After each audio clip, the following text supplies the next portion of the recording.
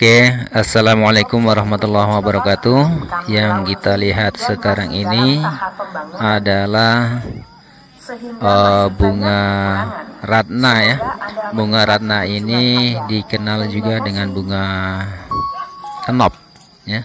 Bunga kenop ya. Di sini kita lihat warnanya uh, apa ini? Pink ya. Pink agak marun ya. Kemudian uh, kita saksikan ada seekor kupu-kupu ini ternyata sedang berkunjung ya. Oke. Nah yang ini uh, bunga kenop juga dengan pilihan warna ungu ya. Warna ungu cantik-cantik ya.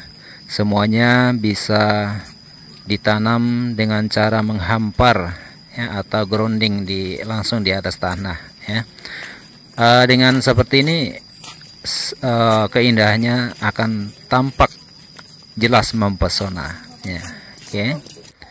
yang kita lihat sekarang ini adalah bunga zinia ya bunga zinia ini mirip dengan uh, bunga matahari. Bunga matahari yang mini lah ya.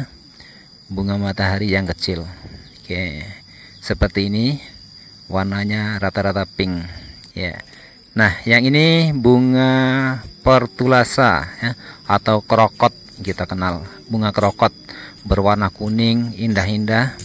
Sebetulnya bunga krokot ini ya, tanaman krokot ini termasuk tanaman liar ya, tanaman liar namun karena memiliki bunga yang sangat indah jadi eh, para penggemar bunga membudidayakan tanaman ini. Nah sekarang kita lihat uh, variasi warnanya banyak sekali. Ada yang pink ada yang merah putih ya.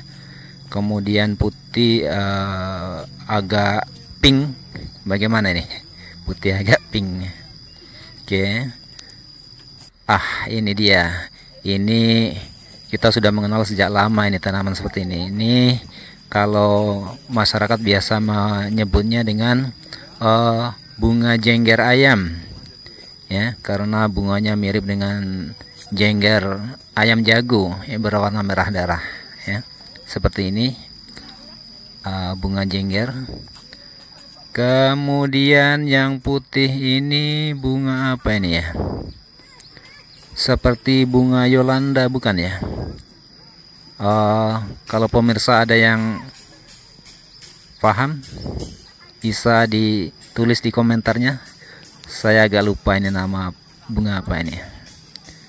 Warnanya putih ya.